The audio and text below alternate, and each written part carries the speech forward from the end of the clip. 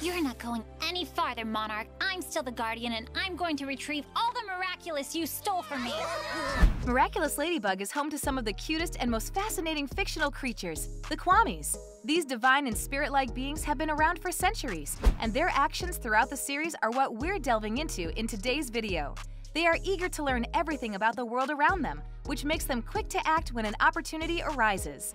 The little creatures get into trouble when they're left alone, and on purpose or not, it leads to some great moments. You really shouldn't be doing this, Trixx. Remember the last time you used your power of illusion without a holder? Marinette must not reveal her secret. Mirage! Number 10. Trixx uses Mirage. The Kwamis have many rules they must follow according to the Guardians. Trixx breaks one of these rules in the episode Gang of Secrets. He does so to help Marinette escape from Lady Wi-Fi, but there is an adverse effect on the world around him. When a Kwami uses its power without a holder, it often has disastrous consequences. In Trixx's case, he turns the Eiffel Tower's metal into something bendable. The French monument bends in the wind and the change is so noticeable that the news broadcasts it. There are few instances in the series where a Kwami uses their power alone, and it was interesting to see what kinds of illusions Trixx can create, voluntarily or not. Oh, come on. Her miraculous ladybug will make everything all right anyway. Mm, I hope. Number 9. Plagg tries to cataclysm Shadow Moth. Sometimes a bad situation requires desperate measures, like in the episode Ephemeral. In this alternate timeline, Gabriel discovers that Adrien is Cat Noir and obtains his Miraculous. When Plagg realizes this, he doesn't hesitate to call upon his Cataclysm to attack Shadow Moth. As we've seen in the episode Destruction, this distinct power can cause pain and lasting effects when performed on a person. When Cat Noir accidentally lands a blow on Monarch, the villain leaves with a growing wound on his body. Ladybug can't reverse the effects with a lucky charm, and Gabriel continues to suffer from it as the season continues. Plagg must have known this when he chose to cataclysm Shadow Moth, yet the cost must have outweighed the means when preventing their enemy from obtaining his miraculous. Nooroo, Kaalki! Easy, Monarch, or I'll cataclysm you. Checkmate, Monarch. Number 8. Plagg and Tikki pick new holders. Marinette and Adrien finally have the chance to be together in Season 5, but their hero responsibilities hold them back. Plagg and Tikki hate to see their friends in so much pain, and they choose to find new holders so their previous ones can have a chance at happiness. In the episode Transmission, Tikki chooses Alya, who already has experience using the Ladybug Miraculous. Plagg, in contrast, chooses Zoe, who falls naturally into the charming role that Cat Noir provides. They bond with their new holders but end up with Marinette and Adrien once more when Monarch nearly succeeds in stealing their Miraculous in the following episode, Deflagration.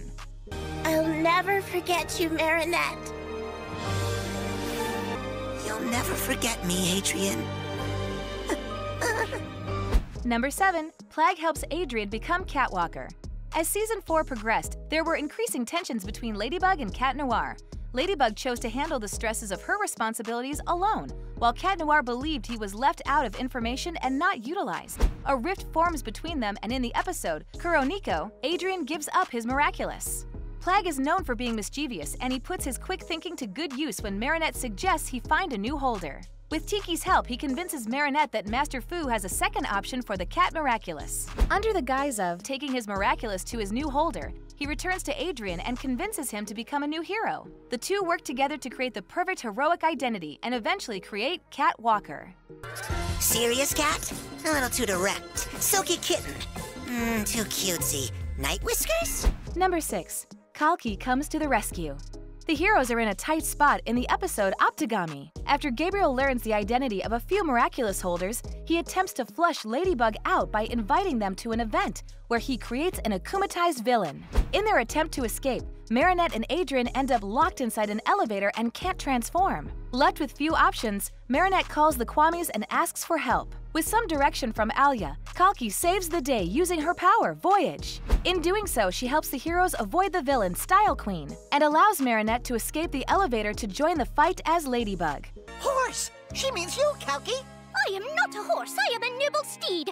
I was the companion to the most glorious heroes. Number 5. Tikki uses Lucky Charm. With the Kwamis being centuries old, there are likely a few secrets about them that Marinette doesn't know. She learns something new about Tikki in the episode Dearest Family. After Tikki gets a taste of the Dupain Cheng family's famous galette, she develops a craving that causes her to act out. The other Kwamis try to warn Marinette when they notice Tikki's odd behavior. But placing her faith in her Kwami, Marinette doesn't listen. Tikki's unsatiated hunger goes unchecked, and she uses her lucky charm to create the sweet treat she desires. Her power makes a galette so large that it overtakes Paris and threatens to crush the city beneath it. Tikki hadn't used her power without a holder before this, and the day could have ended in disaster if it hadn't been for Cat Noir and his cataclysm. I'm the Kwami of creation!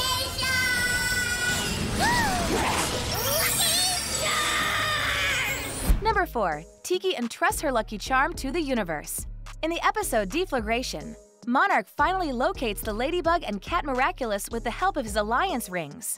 Unknown to Alya and Zoe, their Alliance Rings tracked their movement when they transformed into heroes, which gave Monarch the information he needed to find their location and learn their identities. He then infiltrates their school, where he steals the Miraculous from them.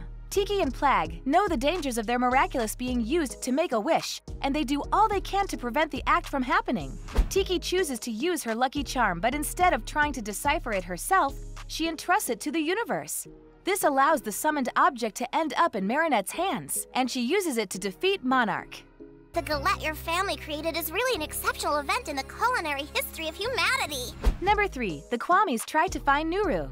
The Kwamis are a very close-knit group as they spend their free time together in the Miracle Box or within the safety of Marinette's bedroom. They're friends who express concern for each other's safety on multiple occasions. This concern extends to the Kwamis, who haven't been with them for some time, Nooroo and Duusu. In the episode Sandboy, the Kwamis come together to celebrate Nooroo's cycle, the Kwami equivalent of a birthday. They gather in the hopes of connecting with Nooroo despite the distance between them so that they may free him from Hawkmoth's control. They do this unbeknownst to their holders and despite knowing the risks. Where do you think you're going, Nooroo? Uh, I just wanted to go out. Number 2. Plagg destroys his Miraculous. Plagg exhibits the bravery and forethought to take desperate measures when necessary, and he does so when Monarch obtains his Miraculous in deflagration. While Tikki conjures a lucky charm to save them, Plagg ensures that Gabriel can't make his wish by destroying his own Miraculous. His ring crumbles to dust, and Plagg disappears, leaving Gabriel unable to rewrite the world in his image. Plagg is restored alongside his Miraculous when Marinette uses Tikki's lucky charm to defeat Monarch. He had faith in his fellow Kwamis and the heroes who defended Paris, which meant his noble sacrifice wasn't in vain. You're the best cat noir I've ever had, Adrien. Number 1. Sass saves their universe.